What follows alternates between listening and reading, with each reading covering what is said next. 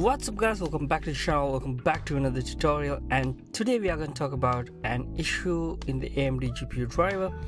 If you're using an AMD GPU, you may have noticed that the record and stream option is magically disappeared and on today's video let's see how to fix it.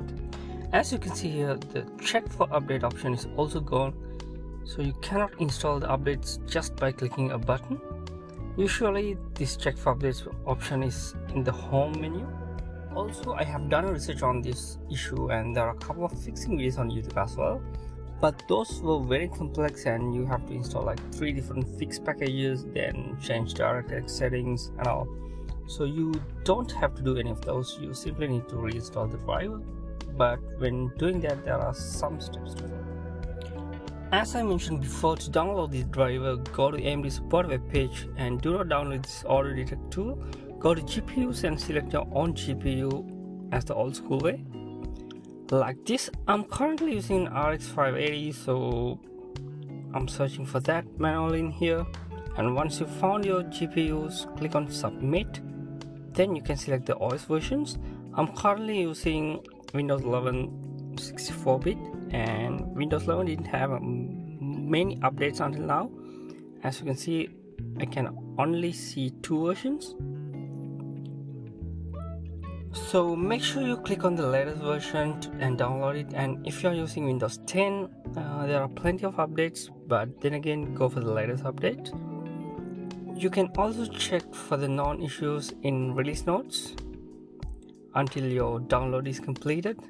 So you can make sure there are no big issues or you could select another version if you see any big issue in the release note and uh, by the time you have checked the non-issues your drive should be downloaded.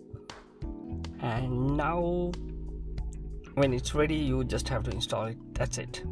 So uh, you could just double click and open it.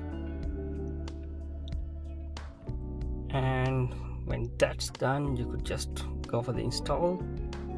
And it will take some time so don't worry. It will restart uh, maybe a couple of times.